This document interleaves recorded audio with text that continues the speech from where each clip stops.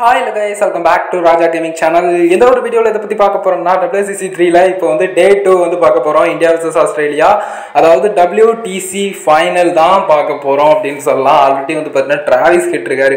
அந்த பேரை கேட்டவொடனே எனக்கு வந்து உண்மையான மேட்சே ஞாபகம் வந்துருச்சுங்க. அந்த அளவுக்கு வந்து பார்த்தீங்கன்னா பங்கம் பண்ணிக்கிட்டு இருக்காரு. எனிவேஸ் இப்போதைக்கு வந்து பார்த்தீங்கன்னா நம்ம அஸ்வின் வச்சிருக்கோம். ஸோ அஸ்வின் எதுக்கு தான் வரல இல்லை அப்படின்னு சொல்லிட்டு நிறைய பேர் சொன்னாலும் எஸ் அது நடந்துருச்சு. பட் அதுக்கப்புறம் நம்மளால பேச முடியாது. பட் அதுக்கு அடுத்து நடக்கக்கூடிய விஷயங்களை பார்க்கலாம். டீமுக்கு சப்போர்ட் பண்ணுவோம் அப்படின்னு சொல்லிட்டு நடந்துக்கிட்டு இன்னைக்கு அந்த மேட்ச்ல டேரக்டா வந்து பார்த்தீங்கன்னா ஃபர்ஸ்ட் பால் போட்டிருக்கோம். என்ன நடந்துச்சு? ஒன்றும் நடக்கலைங்க. டேரக்டா வந்து பார்த்தீங்கன்னா யாருக்கர் டைப்ல வீசியிருக்கேன்? அஸ்வினை நான் வச்சுக்கிட்டு. ஸோ அடுத்து என்னென்ன நடக்கு அப்படின்னு சொல்லிட்டு பார்க்கலாம். இன்ட்ரெஸ்டிங்காக போய்கிட்டு இருக்கு மேட்ச் எல்லாமே. ஸோ இந்தியா ஆல்மோஸ்ட் வந்து பார்த்தீங்கன்னா ரெண்டு நாளில் மேட்ச் முடிச்சுட்டு போறோம்டா அப்படிங்கிற மாதிரி வந்து பார்த்தீங்கன்னா இந்த கேம்ல நடந்துகிட்டு இருக்கு. உண்மையான கேம்ல உங்களுக்கு தெரியும் என்ன நடந்துகிட்டு இருக்குங்கிறத. ஸோ எல்லாத்தையும் பார்க்கலாம். உல்டாவா நடக்கு அப்படின்னு சொல்லிட்டு நம்ம ப்ரெடிக்ஷன் வந்து ராங்னு சொல்லிட்டு சொல்றதுக்கு எதுவும் இல்லை. லைக் வந்து இது வந்து ஜஸ்ட் கேம் தானே. அதனால அப்படி இப்படி இருக்கலாம்னு நினைக்கிறேன். ஸோ ஒன்றும் பிரச்சனை இல்லை. இப்போதைக்கு வந்து பார்த்தீங்கன்னா நூற்றி எண்பத்தஞ்சுக்கு ஏழு அப்படின்னு சொல்லிட்டு ஏழு விக்கெட்டுக்கு வந்து பார்த்தீங்கன்னா இருக்காங்க. ஐ திங்க் இந்தியாவை இன்னும் முந்தணும் அப்படின்னு சொன்னாலே லைக் வந்து நூற்றி முப்பத்தஞ்சு நாள் ரன்னுக்கு மேலே அடிச்சாதான் பார்த்தீங்கன்னா முந்த முடியும். அதுவே இப்போ கொஸ்டினாக தான் இருந்துகிட்டு இருக்கு அப்படின்னு சொல்லலாம். ஸோ இப்போதைக்கு வந்து பார்த்தீங்கன்னா ரன்ஸும் பெருசாக வர மாட்டேங்குது என்ன பண்ணுறது தெரியாம திக்கி திசை மாதிரி வந்து பார்த்தீங்கன்னா போய்கிட்டு இருக்காங்க. அதாவது இப்போதைக்கு மிச்சல் ஸ்டார்க் வந்து பார்த்தீங்கன்னா பேட்டிங் பண்ணிக்கிட்டு இருக்காரு. நேத்தே உங்களுக்கு தெரிஞ்சிருக்கும் டே ஒன்ல நடந்துச்சுங்கிறத கரெக்டாக வந்து பார்த்தீங்கன்னா குறிப்பாத்து போட்டு ஸ்டம்பை தட்டியாச்சுங்க. ஸோ எங்கே போகுது அப்படின்னு கேட்டிங்கன்னா ரெண்டு காலுக்கு இடுவல்ல போகுது அப்படின்னு சொல்லலாம். ஸோ அந்த மாதிரி தான் வந்து பார்த்தீங்கன்னா கரெக்டாக வந்து பார்த்தீங்கன்னா அப்படியே ஒரு ஸ்பின் ஆகி அப்படியே உள்ள வந்திருக்குங்க. ஸோ செம்ம ஸ்டம்ப்பு தெரிச்சிருச்சு அப்படின்னு சொல்லலாம். ஸோ மிச்சல் ஸ்டார்க் வந்து பார்த்தீங்கன்னா ஏதோ டி டுவெண்ட்டி மூணுலேயே வந்து பார்த்தீங்கன்னா பதினோரு பாலுக்கு பதினாறு ரன் அப்படின்னு சொல்லிட்டு வந்து பார்த்தீங்கன்னா அடிச்சிருக்காரு. அவங்க டீம்ல பெருசா டெப்த் இல்லை அப்படிங்கிற மாதிரி ஒரு சந்தேகம் இருக்கு. பட் இருந்தாலும் நல்லாவே மேட்ச் பண்ணி விளாடுறாங்க ஒரிஜினல் மேட்ச்ல இந்த மேட்ச்ல பார்க்கும்போது பெருசா வந்து பார்த்தீங்கன்னா அந்த அளவுக்கு வந்து பார்த்தீங்கன்னா வர முடியல. ஏன்னா ஸ்டார்டிங்லேயே வந்து பார்த்தீங்கன்னா சாமி வச்சு செஞ்சுட்டாரு. ஸோ இந்த தடவை அஸ்வின் அண்ணாவும் வந்து பார்த்தீங்கன்னா நல்லா ஓவர் போட்டிருக்காரு. ஸோ ஒன்றுமே இல்லை விக்கெட்டும் வந்து பார்த்தீங்கன்னா அவளுக்கு செம்மத்தியா போய்கிட்டு இருக்கு. ஸோ இப்போதைக்கு ஒரு ரெண்டு விக்கெட் மட்டும் வந்துடணும் எப்படியாவது வரட்டும்னு சொல்லிட்டு ஜஸ்ட் நான் வந்து ப்ளே பண்ணி ப்ளே பண்ணி பார்க்குறேன். வரமாட்டேன்ருச்சு. ஃபைனலாக ஒரு விக்கெட் வந்துச்சு. இந்த ஓவரில் வந்து அப்பாடா அப்படிங்கிற மாதிரி வந்து பார்த்தீங்கன்னா லாஸ்ட் விக்கெட் தான். எப்படியாவது தட்டிடலாம் அப்படின்னு சொல்லிட்டு இந்த ஆட்டை ட்ரை பண்ணுறேன் முடியலங்க ஆனால் சீரியஸ்லி ஸோ இந்த ஆட்டை அதாவது லாஸ்ட் ஒரு விக்கெட்டு தான் இருக்குது இந்த ஒரு விக்கெட்டை எப்படியாவது எடுக்கிறோம் அப்படின்னு சொல்லிட்டு வந்து பார்த்தீங்கன்னா முடிவு பண்ணியாச்சு. ஸோ இப்போதைக்கு வந்து பார்த்தீங்கன்னா ஸ்கோர் எல்லாத்தையும் நீங்கள் பார்க்கலாம். பெருசாக வந்து ஆஸ்திரேலியா வந்து அடிக்க முடியல. காரணம் வந்து இந்த காம்போ தான். அதாவது ரவீந்திர ஜடேஜா வந்து அஸ்வின். என்னதான் முகமது ஷமி இருந்தாலும் முகமது ஷமி தான் இந்த தடவை பெரிய மேட்ச் பிளேயராக இருந்திருக்காரு. பவர் பிளேலாம் வச்சு செஞ்சுட்டாரு. அதாவது பவர் பிளே இல்லை லைக் ஸ்டார்டிங் டேட்ல இருந்து இப்போ வரைக்கும் அவர் தான் போட்டுட்டு இருக்காரு அப்படின்னு சொன்னாலும் அவர் தாங்க கீயாக இருந்திருக்காரு. இப்போ வந்து ஜடேஜா வந்து நம்ம வச்சிருக்கோம். என்ன நடக்கு அப்படிங்கிறத பார்க்கலாம். இந்த ஜட்டு அண்ட் ஆஷ் காம்போ வந்துருச்சுனாலே பங்கமாக தாங்க இருக்கும். எவ்வளோ பெரிய டீம்னாலும் அதே சமயம் ஆஸ்திரேலியாலாம் இந்தியாவுக்கு வரும்போது அந்த அளவுக்கு பயந்தாங்க. காரணம் வந்து அஸ்வின் தான் அப்படின்னு சொல்லலாம். ஏன்னா வந்து பார்த்தீங்கன்னா டெமோ மாதிரி ஏதாவது ஒரு பவுலர் அதே மாதிரி போடுறாங்களா அப்படின்னு சொல்லிட்டுலாம் ட்ரை பண்ணதெல்லாம் ரொம்ப ஃபன்னாக இருந்துச்சு. ஸோ அப்போவே தெரிஞ்சது அஸ்வின் வச்சு செஞ்சிருவாரு அப்படின்னு சொல்லிட்டு. பட் இருந்தாலும் அங்கே வந்து அது ட்ரை பண்ணாமல் போனது வந்து இந்தியாவுடைய பேட்லக் அப்படின்னு தான் சொல்லி ஆகணும்.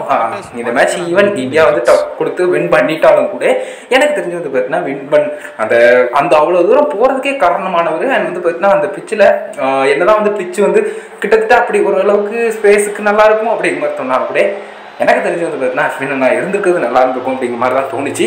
ஸோ இம்பார்ட்டண்டான ஒரு மேட்ச் வேறு இல்லையா? ஸோ அதில் வந்து உமேஷ் யாதவ்லாம் ப்ளேவே பண்ணல அவர் பெருசாக அப்படிங்கிற மாதிரி இருந்ததால் எனக்கு ரொம்ப அந்த மாதிரி தோணுச்சு. அவருடைய இடத்துல அஸ்வின் வந்திருக்கலாம் போல பட் இந்தியாவுக்கு எப்பவுமே போல சப்போர்ட் பண்ணலாம். இப்போ என்ன நடக்குது ரொம்ப க்ளோஸாக போகுது. பட் நோபால தூக்கி வீசிட்டேன். பட் எனிவேஸ் இந்த ஒரு பாலும் அப்படியே போயிடுச்சு பட் விக்கெட்டை கரெக்டாக பார்த்து அடிக்கிறோம் அப்படின்னு சொல்லிட்டு வந்து பார்த்தா அடிச்சுக்கிட்டு இருக்கேன். பட மாட்டேங்குது பார்க்கலாம்.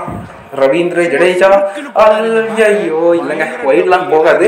ஒயிட் வந்து ரொம்ப லாங்காக போனால் தான் உனக்கு வந்து ஒயிட்லாம் கொடுப்பாங்க. ஏன்னா இது டெஸ்ட் கிரிக்கெட் அப்படிங்கிறது உங்களுக்கே தெரிஞ்சிருக்கும். அவ்வளோதான் ஐயோ டேரக்டாக ஸ்டெம்பு போச்சு நினச்சேன். பட் ஸ்டில் வந்து பார்த்தீங்கன்னா எந்த விதமாகவும் பாதிப்பு ஏற்படாமல் பக்காவாக இருந்துக்கிட்டு இருக்காங்க இப்போதைக்கு. என் மாட்டு பண்ணி பார்க்கலாம். அஸ்வின் ப்ரோ தான் நம்ம எடுத்திருக்கோம். அஸ்வின் ப்ரோ ஏதாவது பண்ணுங்க ப்ரோ ஆக்ஷனாக எடுத்தாச்சு. ஸோ கரெக்டாக வந்து பார்த்தீங்கன்னா அப்படியே ஒரு ஆஃப் ஸ்பின் அப்பா நல்ல டிஃபன் வைக்கிறாங்க. ஸோ கொஞ்சம் வந்து பார்த்தீங்கன்னா அப்படி இப்படி போனால் விக்கெட் பார்க்குறேன் விட மாட்டேங்குது. இன்னைக்கே மேட்ச் முடிக்கணும். அதாவது இனிமேலாம் ரன் அடிக்கிறதுக்கு சான்ஸே இல்லை. ஒரு விக்கெட் தான் இழப்பு இருக்குது ஸோ அதை மட்டும் முடிச்சிட்டோம்னாலே சோழி முடிச்சுது ஐயோ சரியான ஷாட்டுங்க ஃபோர் போயிருக்குன்னு நினைக்கிறேன். அவ்வளோதான் ஃபோர் போயிருச்சு. ஐயோ லாஸ்ட் விக்கெட்டுங்க பட் போக மாட்டேன் நான் இந்த அடிக்கிறேன் இப்போவே அப்படின்னு சொல்லிட்டு அடிச்சுக்கிட்டு இருக்காங்க. நேற்று வந்து மூணு விக்கெட்டு கிட்ட போயிருந்துச்சு. பட் ஸ்டில் வந்து பார்த்தீங்கன்னா ரொம்ப டஃப்பாக தான் இருந்துச்சு இந்தியாவை பொறுத்த வரைக்கும். பட் இந்த தடவை ஏதாவது கம்பேக் நடக்கும் அப்படின்னு சொல்லிட்டு நான் விக்கெட் இருக்கும் பார்க்கலாம் என்ன நடக்கு அப்படிங்கிறத. ஸோ அதே மாதிரி வந்து பார்த்தீங்கன்னா இந்த ஓவர் ஒரு மாதிரி வந்து பார்த்தீங்கன்னா ஃபோர் மட்டும் போயிருக்கு. பட் ப்ரெஷர் இருந்துக்கிட்டே தான் இருக்குது அப்படியே ஒரு தூஷ்ரா போட்டாச்சு. அவ்வளோதான் பண்ணலாம் பார்க்குறேன். அப்படியே ஸ்டம்புக்குள்ளே தாங்க போடணும். ஸ்டம்புக்கு ரேஞ்சு ஸ்டம்ப் ரேஞ்ச் தான் இப்போ போகுது.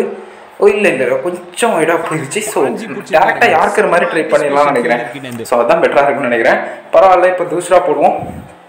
காலுக்குள்ளே கரெக்டாக அப்படியே நெயில் பண்ணணும் ஐயோ தட்டிட்டாங்க தட்டிட்டாங்க. ஏங்க லாஸ்ட் பாலா ஐயையோ ஓவரே முடிச்சிருச்சே சரி ரைட்டு நம்ம லாஸ்ட்டாக யாரை எடுத்துக்கலாம். அதாவது ஒருத்தர் எடுத்து போட்டு போவோம் ஆல்மோஸ்ட் இந்த தடவையும் பெருசாலாம் பண்ணல பட் ஓப்பனிங் ஓரளவுக்கு நல்லா இருந்திருக்கு ஆஸ்திரேலியாவுக்கு ஃபர்ஸ்ட் இன்னிங்ஸில் அப்படியே சொல்லிட்டாங்க ஈஸி மோட் தான் நான் ப்ளே பண்ணுறேன் அதுவும் உங்களுக்கு தெரிஞ்சுக்கணும்னு நினைக்கிறேன். எனக்கு நம்ம ஈஸியாக தான் இருக்கணும் அப்படிங்கிற நான் செட் பண்ண மாதிரி தான் எனக்கு இருக்கு. ஆஹ் இந்த தடவை பார்த்தீங்கன்னா ஏதாவது நடக்கணும் அப்படின்னு சொல்லிட்டு தான் பார்த்துட்டு இருக்கேன். பார்க்கலாம் என்ன நடக்கணும் ஓகே ஓகேங்க கமான்ங்க கமான்ங்க கமான்ங்க அஸ்வின் ப்ரோ ஏதாவது பண்ணுவாருங்க. ரெண்டாவது பால் போயிருக்கு. ரெண்டு ரன் ஓட்டிடுவானுங்கன்னு நினைக்கிறேன். அந்த பார்த்தீங்களா ஈஸியாக ரெண்டு ரன் ஓடுறானுங்க. ஐயையோ ரெண்டு ரன் ஓட்டானுங்க. அவுட்லாம் கிடையாது. அவுட்டு தான் அது. நம்மளாம் பார்த்தாலே தெரிஞ்சுது. ஸோ அதனால் அவுட் கிடையாது. இப்போதைக்கு வந்து பார்த்தீங்கன்னா பார்க்கலாம். ஸ்டம்ப் ரேஞ்சில் தான் இருக்குது ஐயையோ தட்டிட்டாங்க தட்டிட்டாங்க தட்டிட்டாங்க. இடையில குந்திப்பி அளவுக்கு கொண்டு வரணுமா அஸ்வினானவே ரெண்டு ஓவர் போகிற மாதிரி இருக்கு. எனிவேஸ் இன்னும் மூணு பந்துகள் இருக்குங்க. விக்கெட் விழுதான்னு பார்க்கலாம் ஐயோ என்ன டிஃபென்ஸ் டிஃபென்ஸ் நல்லா ஸ்ட்ராங்காக வைக்கிறானுங்க. இப்போதைக்கு அந்த போலந்துங்கிறது தான் ஆடிக்கிட்டு இருக்காரு. ஸோ கேமில் இருந்தாலும் நடக்கலாம். பாசிபிள் தான். ஈஸி மூணு வேறு வச்சுக்கிறாங்க அப்படி நடக்கும். ஓ மை காட் லாஸ்ட் பாலுங்க லாஸ்ட் பால் ஏதாவது பண்ணி தூஷ்ரா அப்படியே ஸ்டம்ப் ரேஞ்சில் வைக்கணும். அதே தான் அப்படி அடிச்சிட்டுங்க அடிச்சிட்டுங்க அடிச்சிட்டுங்க. லாஸ்ட் பால் முடிஞ்சது போல்டு ஃபைனலி வந்து பார்த்தீங்கன்னா இந்தியா வந்து வின் பண்ணியிருக்கு. டபிள்யூடிசி ஃபைனலில் வந்து இந்த ஒரு பாலோட ஸோ கேமில் தான் வின் பண்ணியிருக்கு. ஒரிஜினல் கிடையாது. பட் இருந்தாலும் பரவாயில்ல ஓரளவுக்கு வந்து பார்த்தீங்கன்னா அப்படியே ரெண்டு நாள் கூட ஆகல ஒரு ஒன்றரை நாள் ஒரு நாள் ஒரு செஷன் அது குயிக்காக முடிஞ்ச ஃபைனலாக கூட எதிர்ப்பு நினைக்கிறேன். அந்த அளவுக்கு வந்து பார்த்தீங்கன்னா நடந்திருக்கு முகமது ஷமி தான். அது சந்தேகமே கிடையாது நான் அப்போ நினச்சிட்டு ஏன்னா ஃபஸ்ட்டு இன்னிங்ஸே வந்து பார்த்தீங்கன்னா ஏழு விக்கெட்டு அதுக்கு அடுத்தது ஒரு மூணு விக்கெட்னு வந்துருச்சு. ஸோ அதுக்கு அடுத்தது நம்ம ஸ்கோர் போர்டு பார்க்கலாம் ஓகேவா ஸ்கோ ஸோ ஸ்கோர் கார்டை நம்ம ஜஸ்ட்டு பார்த்துட்டு அதுக்கடுத்து போகலாம் ஃபஸ்ட் இன்னிங்ஸ்லாம் நம்ம பார்த்தோம்னா பங்கமாக இருக்கும். இது வந்து இந்தியாவுடைய first innings so Ravindra Jadeja hundred and வந்து விராட் கோலி அறுபத்தி மூணு. ஸோ சான்ஸே இல்லை. எல்லாரும் ஸ்ட்ரைக் ரேட்டை பாருங்க. ஈஸி மூடு வச்சா இப்படி தான் அடிப்பானுங்கன்னு நினைக்கிறேன் பரவாயில்ல. அதுக்கு அடுத்தது வந்து பார்த்தீங்கன்னா ஆஸ்திரேலியா பேட்டிங் சொல்லிக்கிற அளவுக்கு இல்லை. ஒரு சில பெரிய நாள் கூட வரல அப்படின்னு சொல்லலாம். அதாவது ஒரு எண்பது ப்ளஸ் அப்படிங்கிற மாதிரி கூட இல்லை அப்படிங்கிறது தான் காரணம். அவங்களுடைய தோல்விக்கு. அதே மாதிரி வந்து பார்த்தீங்கன்னா ஹேசல்வுட் இல்லை. ஹேசல்வுட்டுக்கு வந்து பார்த்தீங்கன்னா விக்கெட்டை பாருங்கள் அந்த அளவுக்கு இருந்திருக்கு. பட் ஹேசல்வுட் இல்லை இல்லையா? ஸோ அதே சமயம் வந்து பார்த்தீங்கன்னா பவுலிங்கை நீங்கள் பார்த்துக்கலாம் இதில் சொல்லவே தேவையில்லை. எல்லோரும் வந்து பார்த்தீங்கன்னா அடிச்சு நிமித்திருக்காங்க ஸோ இப்போதைக்கு வந்து பார்த்தீங்கன்னா இதுதாங்க விவரம். ஸோ எல்லாமே தெரியும்னு நினைக்கிறேன். முகமது ஷமி தான் விக்கெட்டு ஃபுல்லாக எடுத்துருக்கிறது. ஆனால் வந்து அந்த side Jadeja. Hundred plus so இதுதாங்க விஷயம். ஸோ இதோட இந்த கேம் எண்ட் ஆகுது. ஸோ ஏன்னா கேமே முடிஞ்சது அப்படின்னு சொல்லலாம். Thank you so much next videos